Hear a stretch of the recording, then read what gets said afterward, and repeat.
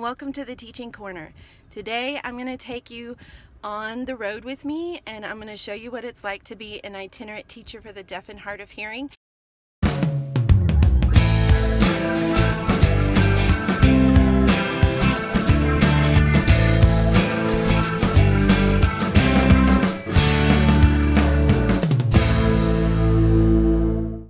This is my itinerant classroom. This is where I keep all the folders, screens, manipulatives, things that I'm going to need for students. It's a little, it's just a thing that you can get in the suitcase area. I think I got this one at Walmart. It has a little thing that moves up and down so I can pull it. It's on wheels.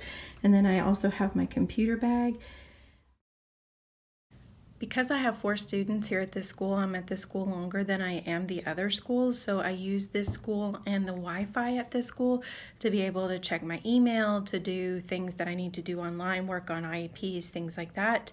Um, depending on your school, your district, whatever, that might be something you need to consider is making sure you can get a password so you can actually get online and work on some of the things that you need to do. Um, another thing that I have that I, you briefly saw for a second is a notebook notebook. Um, and I put all of my students with dividers in the notebook and then that and I have the dividers with pockets so I can put this day's lesson along with the cards that I'm going to be needing for our Orton Gillingham lesson or whatever it is that we're doing if it's reading comprehension or something like that I keep it in the pocket I also have a sheet of paper and on it it has columns and it has today's date and then um, it has the data that I'm keeping for a particular child and a section for comments. So I can comment whether or not a student had their hearing aids, if the batteries weren't working, when the last time was that they changed them, if there's been any problems in class, if I need to contact the parent, if I have contacted the parent. You just want to make sure that you document everything that you do so that uh, later when, uh, if anything were ever to come back on you, you can show your documentation and exactly what was said or what was done. Um, it covers you uh, in case there's ever any question about what happened. I'll show you really quick one of the pieces of paper that I take notes on um, and then also show you how that I do ratio data. One of the things for IEP goals you want to make sure is that you've got something that you can actually like give a grade on or a percentage or something like that.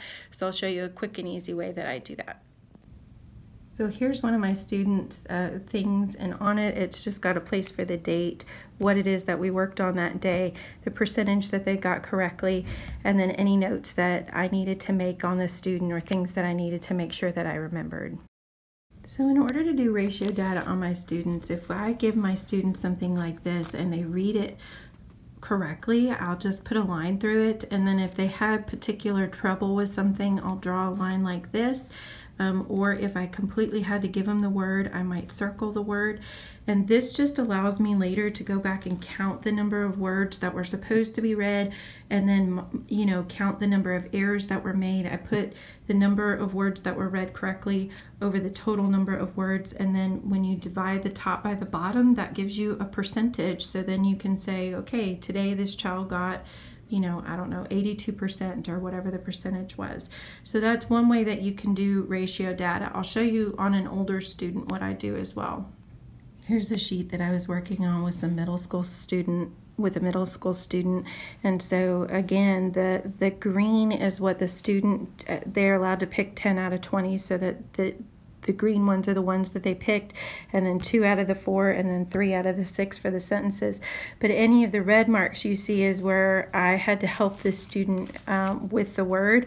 And so again, when I go back and I tally, and in these, because we're older and we're dealing with morphology, I just count the words that have the actual um, morph morpheme that we're working on.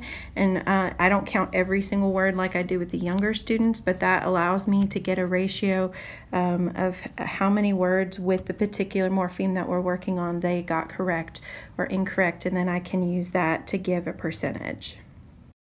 So I hope following me around today was fun. If it was, please like, share, and subscribe, and I'll see you later. Bye!